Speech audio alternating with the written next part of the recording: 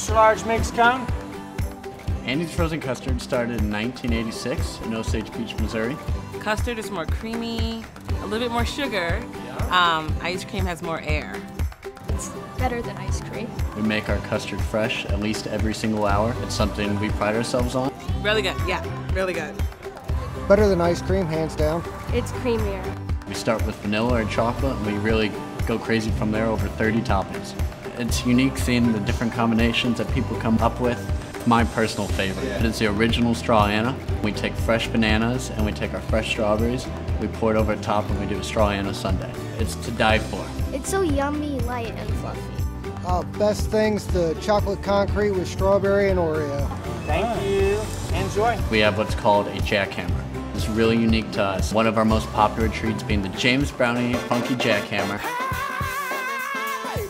We take peanut butter, our fresh brownie, we blend it all together to make a concrete, and then we create a hole down the center and we fill it with piping hot hot fudge.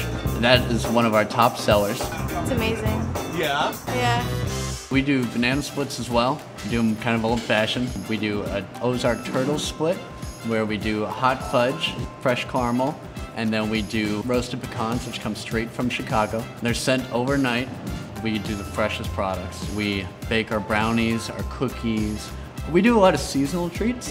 Our apple pie sundae, our pumpkin pie concrete. We get into the Christmas season and we do a peppermint shake, peppermint concrete. Pretzel caramel crunch. You got the sweet, you got the crunchy, you got the creamy chocolate. It's really good. We have really high standards, not just for customer service, but for the customer experience. We want the customer to see everything. You see us make your treats. You see us running around, um, pouring your floats. We'll have little kids put their face up against the glass and look right into our machines. Triple chocolate concrete. We do not do a call box at the drive-through menu board. The reason behind it is we want the face-to-face interaction. Hi, what can I get you?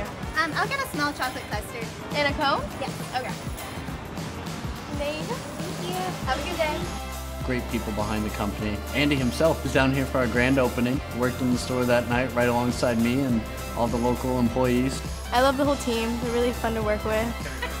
I grew up on Andy's myself. My friends and I would go there in middle school, go there in high school after a soccer game. It was our hangout spot. I just want the kids to have every opportunity I have. A fun, safe environment, parents to take their kids here, let them run around and socialize with each other. It's what we're all about. We're beyond excited to be part of the Alpharetta community. First one in the state of Georgia,